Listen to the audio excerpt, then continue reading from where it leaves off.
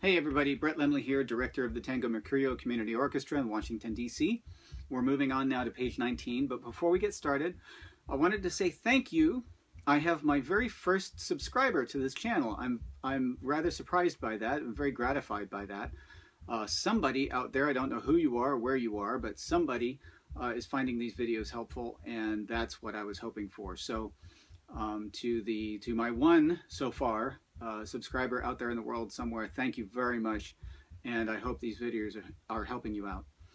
So let's take a look at page 19 now. The music is getting a tiny bit more complicated. You're always playing the same notes in both hands, so C in the right hand means C in the left hand, and so forth.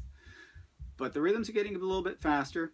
Whole notes are becoming half notes and becoming quarter notes, so your fingers are going to have to move a little bit faster, which is why it's important that while you're playing, you pre-position your fingers. Put each finger on the note that you're about to play while you're playing the note that you're playing. So always be fingering one note ahead, and this will help with muscle memory and precision, and you'll learn the notes much, much faster. I'll also put some practice tips in a little blurb, as I have in the previous videos, before the hands together section. I really, really encourage you to follow the practice tips.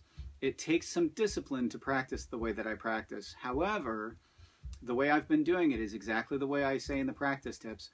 And I promise you that it has helped me um, slowly but steadily get pretty good at this thing in a fairly short amount of time. So follow the practice tips best you can and hold yourself to a high standard when you play. And uh, we'll see you in the exercises.